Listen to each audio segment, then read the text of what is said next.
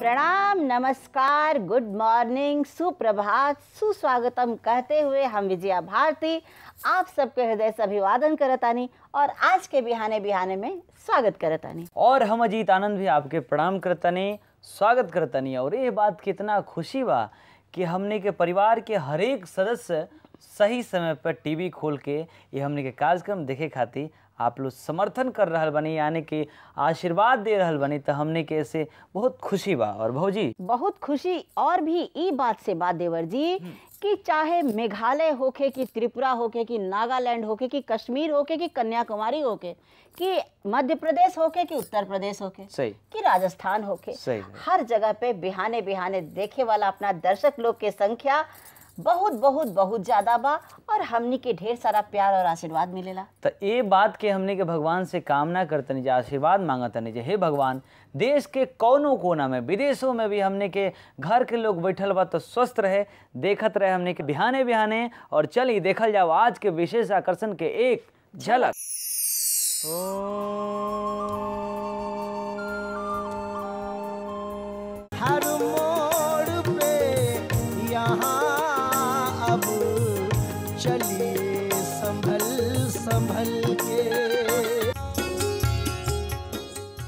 हरियाणा राज्य के ऐतिहासिक जिला हो कुरुक्षेत्र।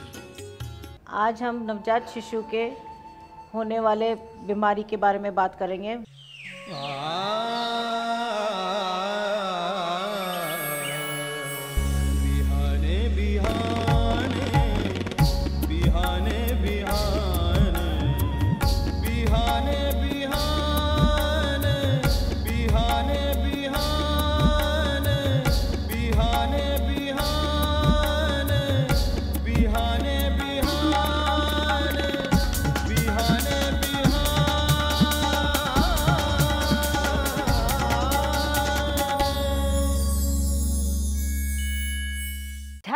पश्चात फिर रउआ सबके वापसी भइल बा बिहाने बिहाने के अंगना में और देवर जी को देख के कुछ लगता है जाते जाते बोलेंगे। आ मत कहा अभी चुप रहा। अभी इतने भर तारा से गुहार करब कि बहुत जे फ़ैशन कैले बड़ू।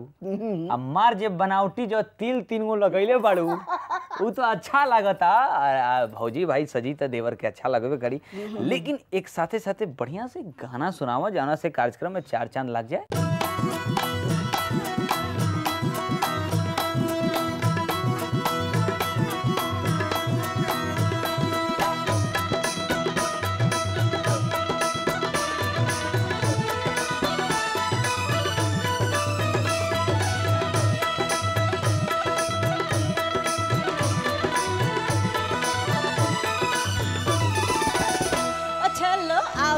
आधी रात बटाव चटनी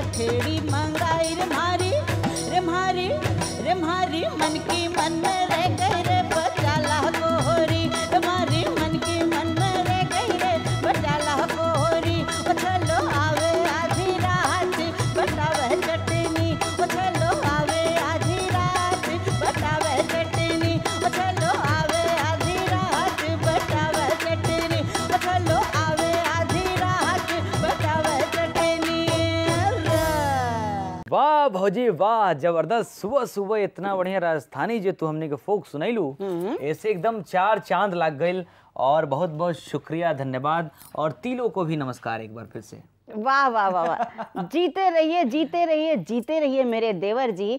अरे राजस्थानी गीत का मतलब आपको समझ में आया? और ना ही एक जगह हम क्यों जो खनखन खनखन कुछ लहटी वाले बात के लिए हुई इतना हेलो आवे आधी रात बटावे चटनी। मतलब पति जो है आधी रात को घर आता है और पत्नी से कहता अभी तुम सिलवट्टा पर हाथ से चटनी पीसो तब मैं भोजन ग्रहण करूँगा। अच्छा तो यही बतिया के भोजपुरी में कहेगा तो कह जाके सुनता रू हो हम्म। तनी चटनी उटनी पीस के ले आवो तनी मज़ा आई खाए में। काहे के पीसी? अपन नींद हम रात के आधा रात के हराम करी। तू ना मनबू। बिना चटनी के खा। ना मनबू। ना माने। ना मनबू। सेहत बिगड़ जाई। ना मनबू तो सेहत भी कर जे दर्शक लोग बहुत बढ़िया अतिथि के आगमन भी होखे अलावा लेकिन उससे पहले सेहत सुधारती हुए चली कल जा मिलके। योग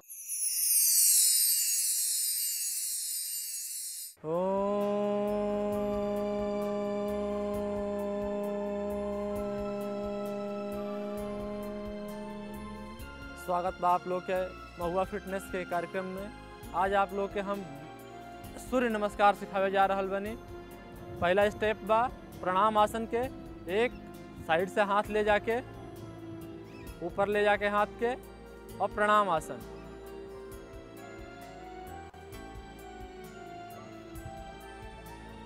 सांस की गति या नॉर्मल रही, सामान्य। सांस लेके हाथ के ऊपर उठावल जाई हस्तोत्थान आसन एकरा में पूरा पेट के मांसपेशी खिंचा रहल बिया। पेट के पूरा लाभ मिलेला ऐसे। सांस के गति सामान्य हो जाइए जा। एकरा बाद से तीसरा स्टेप पाद हस्तासन सांस छोड़ के सामने झुके के बाद। अगला स्टेप चौथा अश्व संचालन बायां पैर पीछे जाई सांस लेवे के बाद, सांस अंदर, सांस के प्रति सजगता हमेशा पांचवा आसन पर्वत आसन दोनों पैर के पीछे ले जाके, पंजा और एड़ी दोनों ज़मीन पर, गर्दन बिल्कुल अंदर, सांस छोड़ देवे के बाद, छठवा आसन, अष्टांग नमस्कार, दोनों घुटना ज़मीन पर, कमर ऊपर रही सीना ज़मीन पर ठुड्डी ज़मीन से लगा रही। या सांस छोड़ देवे के बाद? सांस लेके भुजंगासन। सातवां स्टेप, भुजंगासन के। आठवां स्टेप, सांस छोड़ के पर्वतासन।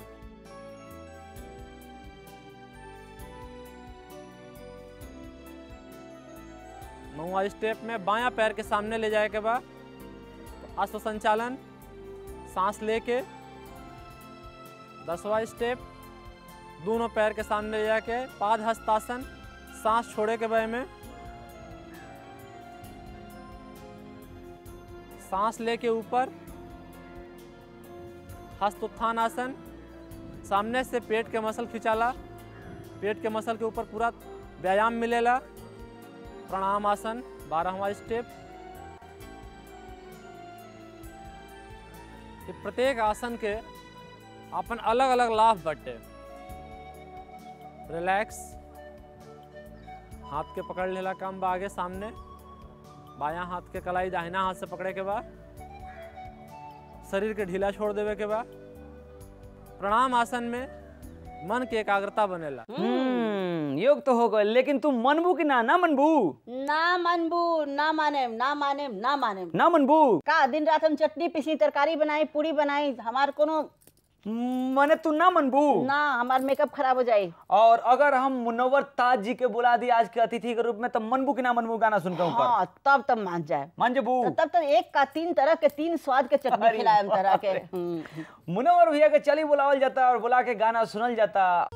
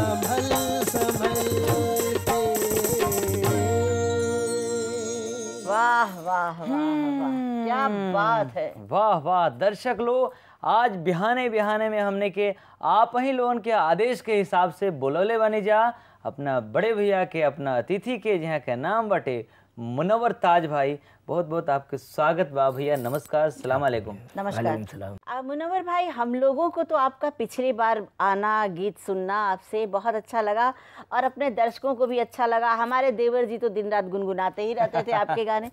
आपको कैसा लगा और आपका जब कार्यक्रम टीवी पर आया तो लोगों की तरफ़ से आपको कैसा रिस्पांस मिला? तब तो हर जगह से फ़ोन ही फ़ोन आ रहा है हमारे पास। कब प्रोग्राम आप करेले हो रहा है कब प्रोग्राम आप करेले हो रहा है। इनका से बातचीत आगे भी करब और गीत भी सुनब लेकिन अभी आए मिलजुल के चल पड़ी यात्रा पर।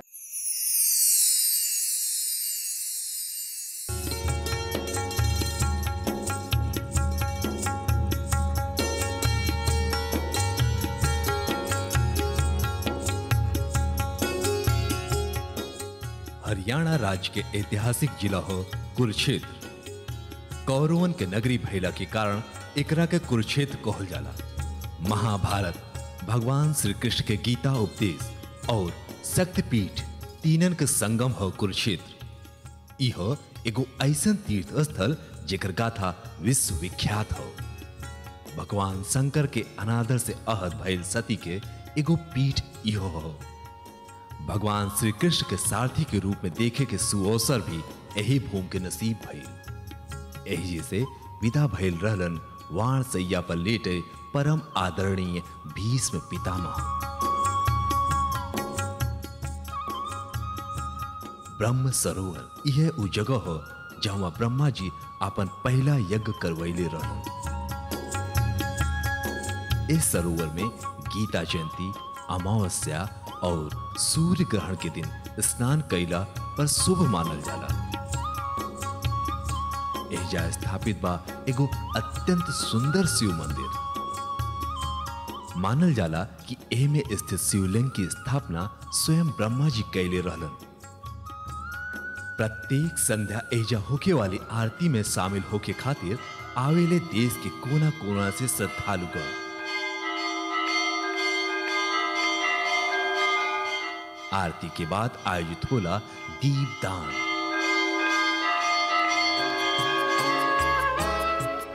भीष्म कुंड यह उ जगह है जहाँ महाभारत काल में बाण सैया पर लेटे भीष्म पितामह खातिर अर्जुन अपन बाण से धरती से गंगा जल निकाले रहलन। यही से एक नाम पड़ गईल नरकटरी बाण गंगा भीष्म कुंड एक लागे स्थापित बा हनुमान जी के पंचमुखी मूर्ति। ई ह ज्योतिसर ए वट वृक्ष के नीचे भगवान कृष्ण अर्जुन के गीता का पाठ पढ़ौले रहलन। यात्रा से वापसी और आज की अतिथि मुनवर ताज भैया। मुनव्वर ताज जी से एक बात जाने के बाद आपके परिवार में जैसन कि पहले बतौनी कि पहले भी केहू गावत रहनी ना पिताजी वगैरह? पिताजी थे हमारे मामू थे। तो पिताजी और मामू भी इसी प्रकार की गायकी गाते थे या कुछ अलग हटके गाते थे? नहीं हमारे बाबूजी तो हमारे पिताजी जो उनका तो सूफियाना गायन था सूफियाना गाना बजाना उनका होता था खानकाहों में।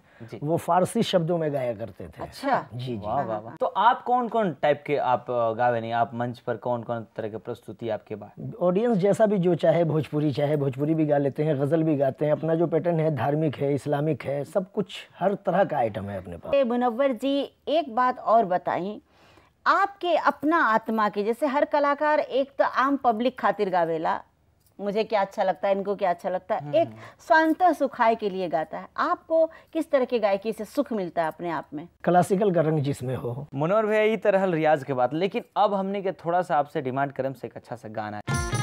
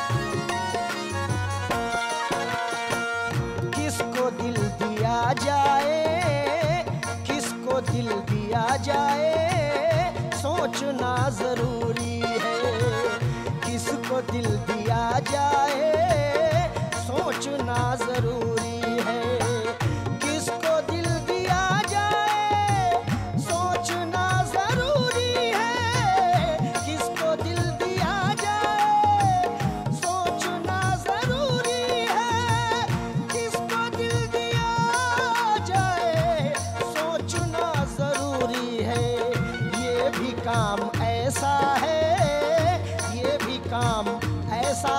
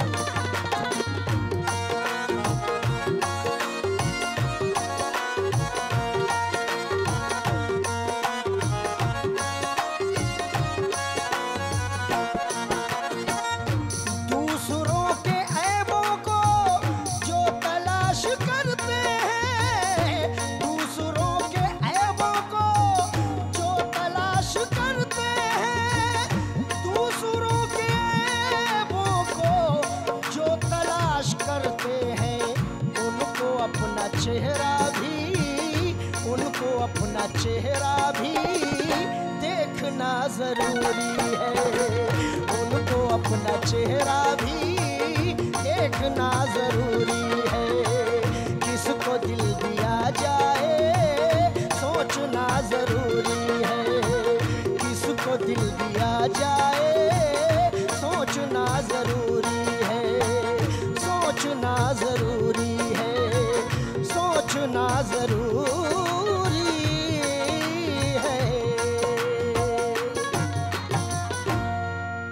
वाह वाह ज़बरदस्त। वाह वाह वाह वाह।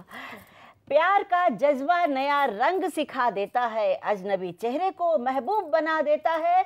अपने चेहरे के किसे दाग नज़र आते हैं वक्त हर शख्स को आईना दिखा देता है। क्या बात भौजी बहुत बढ़िया। और दर्शक लोग अब देखी पंडित जी के जब आगमन हो गई बा तो देरी ना करते हुए चल जाओ। जानल जाओ आज के दिन भर के भविष्य फल आपन कार्यक्रम ग्रह गोचर में। और मुनव्वर ताज जी आज के अतिथि बने। मुनव्वर भैया आपके बारे में पता लगला कि आप कैसेट करे खातिर दिल्ली अ, कुछ दिन रनी है। कौन कौन दो चार गो कैसेट जो आवत नाम बताई कि हमने के दर्शक लोग के मौका मिले तो खरीदी लो जाके। हमनियों के। और हमने के तो खरीदेम ना हम तो मांगे आपसे। अभी नया एल्बम हमारा आ रहा है छोटे मस्जिद शोला साहब के साथ। जिसमें बड़ी मेहनत करनी पड़ी कम से कम पंद्रह दिन का ये रियाज हुआ है। अच्छा। मदीने के दूल्हा ख्वाजा। तो एक ही गाने में दोनों डुएट वोकल जी हाँ ये पहली बार ये दो जेंट्स का डुएट है इसके अंदर। लेडीज़ जेंट्स का डुएट तो होता है। जी। लेकिन ये बिहार और महाराष्ट्र का बिल्कुल ये डुएट महाराष्ट्र के और हो। पंद्रह दिन के रियाज में आप लोगों ने ये तय किया होगा कौन सी हरकत आप करेंगे कौन सी वो करेंगे किस पंक्ति को आप कैसे बोलेंगे उन्होंने अपनी हरकत की है मैंने अपनी हरकत की है है। मज़ा आएगा और दोनों हरकत से उसमें बरकत पैदा हुई है। क्या अच्छा एक बात और बताएँ कि खाली वक्त मिलेला कि ना अपना आप मिलेला तो का करें बस यही करते हैं तलाश करते हैं अपने कलामों को देखते हैं गज़लों का इंतखाब करते हैं सिलेक्शन करते हैं। यानी वक्त को हम लोग बर्बाद नहीं करते हैं। खाली वक्त में अपने साथ रहते हैं और तभी कलाकार कुछ नई करामात करते हैं। और मुनव्वर ताज भाई आयल बानी तो हमनी की कोशिश रहेला कि ज़्यादा से ज़्यादा फ़ायदा उठा ली यानी कि ज़्यादा से ज़्यादा बढ़िया बढ़िया गाना सुन ली। तो हाँ, अभी का सुनाए। बहुत अच्छी गज़ल सुनाते हैं आपको।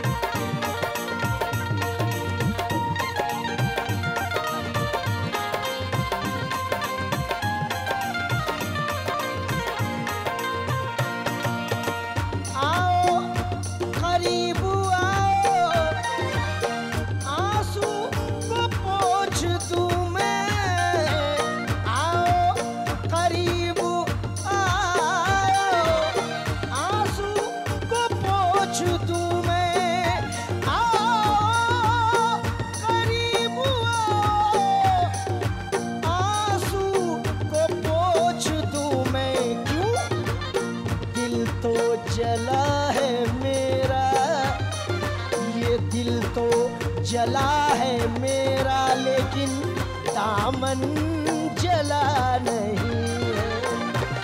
दिल तो जला है मेरा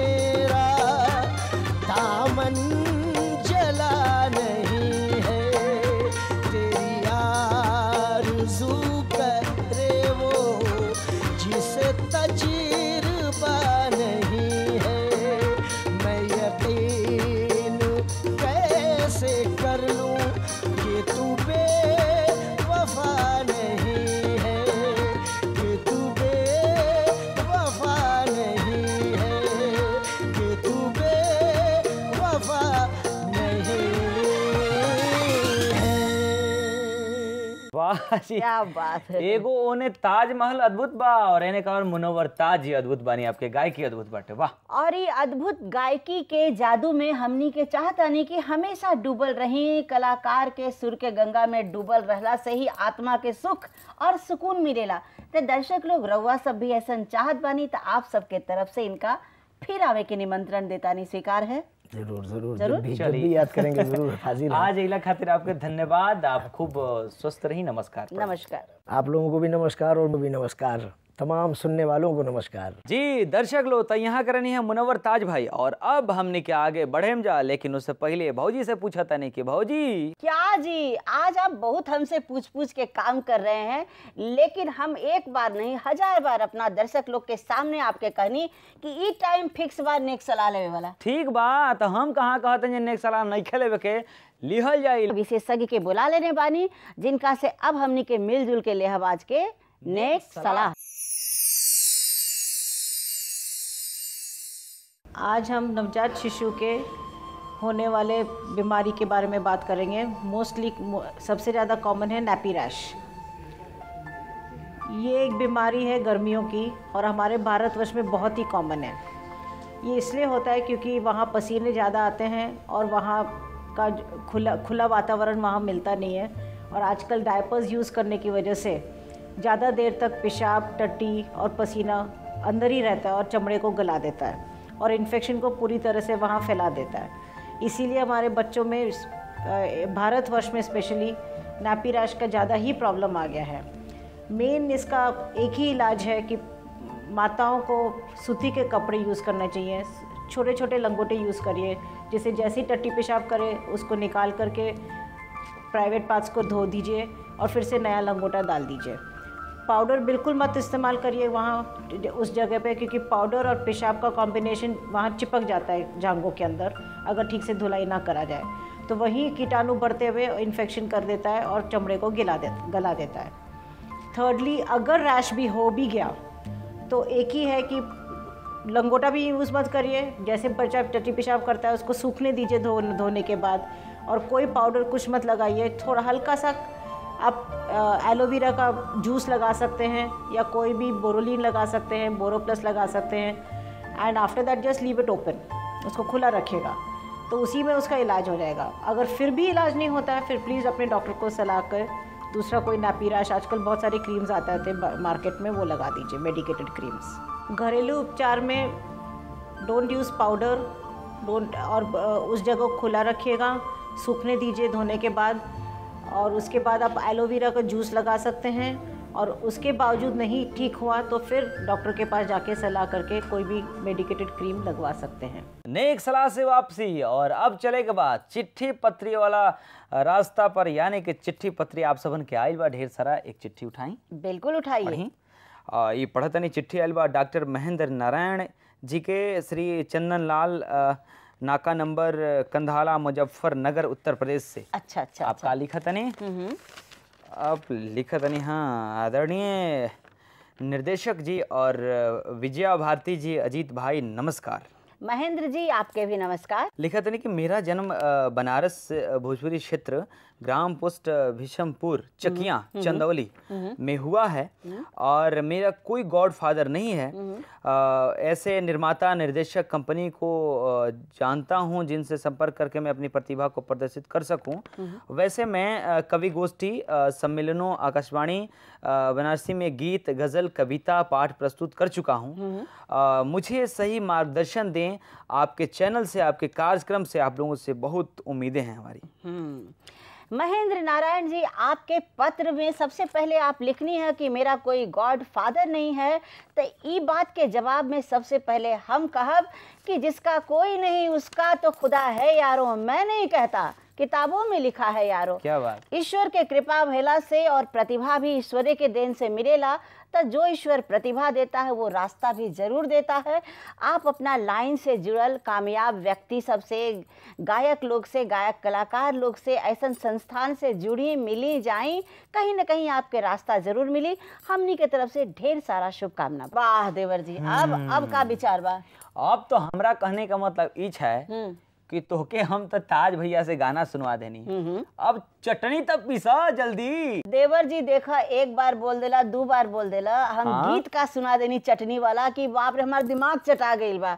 अपना माटी के बहादुर नारी सबके कारनामा अगर बताइब ना तब बेहोश हो जाइबा। हाँ तो करनामा सब इज़्ज़त मारे वाला करत होइले तनी तोहके अगर मन में हुए तो कहदा तू। अगर अपना देश के अपना माटी के पुरबिया माटी के घरेलू औरत सबके अगर ज़्यादा केहू दिमाग चाटेला अच्छा। चटनी बना दो चटनी बना दो तो धनिया का चटनी पीस सकती है। पीस सकती है। पुदीना का चटनी पीस सकती है। पीस सकती है। और ज़्यादा घर का मर्द दिमाग खाता है तो उसका भी चटनी पीस सकती है लहसुन मिर्चा मिला के। ये तो ये सब बतिया कम से कम टीवी पर तो नत कहल करा। टीवी में कहा बोला तानी? हम तो अपना घर में बैठ के बतियावत। आई सब लोगवा जे देखा ताटे भारत देश में। ठीक बा ना सब अपना बहन के सुनावत तानी चाची के काकी के गलत बोलत गलत अच्छा। बोली तो बताई आप। अब देखी रहो लोग घर में ऐसा है अकेला फुआ कि ये कहो को बात ऐसा कहिए कि झगड़ा लग जाइए हमने के ये मामला में मत पड़ी लो ये सब झूठो के दिखावटी झगड़ा झुगड़ी बाटे ये सब प्यार हटे और दर्शक लोग चलिए आशीर्वाद दी।